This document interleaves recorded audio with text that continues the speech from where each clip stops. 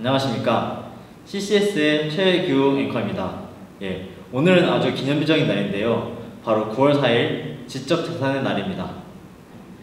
2018년에 시작하여 올해로 2회를 맞이한 지적재산의 날은 정부가 지적재산권의 중요성을 널리 알리기 위해 여는 행사입니다. 올해는 과천에 위치한 국립과학원 어울림홀에서 행사가 열렸는데요. 현장에 저희 기자가 나가 있습니다. CCS의 옥정은 기자, 네, 저는 지금 지식재산의 날 행사가 진행 중인 국립과천과학관에 와 있습니다. 2019년 9월 4일 오후 2시부터 약 3시간 동안 많은 축사 그리고 시민들의 참여와 함께 성황리에 진행되었습니다. 구자열 LS그룹 회장의 개회사를 시작으로 지식재산의 날 시상식, 고려대학교 중앙창작 뮤지컬 공연 등 다양한 기념 행사들이 지적재산의 날을 축하하며 지적재산권 활성화의 의미와 가치를 되새겼습니다. 또한 어울리몰 로비에서는 지식재산에 대한 일반 시민들의 관심을 돋우기 위한 8개의 부스들이 마련되어 있었습니다.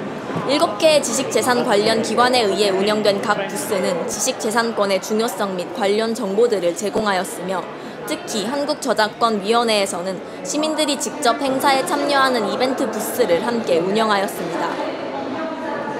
네, 어, 지식재산의 날을 잘 몰라가지고 어떤 건지 오면서도 궁금했는데 막상 참여를 해서 보니까 되게 중요한 거라는 걸 잘 알겠고 그리고 다양한 방문객은 그림 맞추기나 추억의 뽑기 등 간단한 활동을 통해 에코백, 보조 배터리 등의 상품을 받을 수 있었습니다.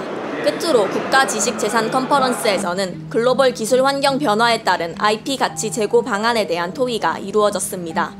이처럼 산업 환경 변화에 따라 특허, 상표 등의 산업 재산권과 저작권을 일컫는 지적 재산권은 더 강한 대한민국의 원천으로서 주목받고 있습니다. 이상으로 CCS의 옥정은 기자였습니다.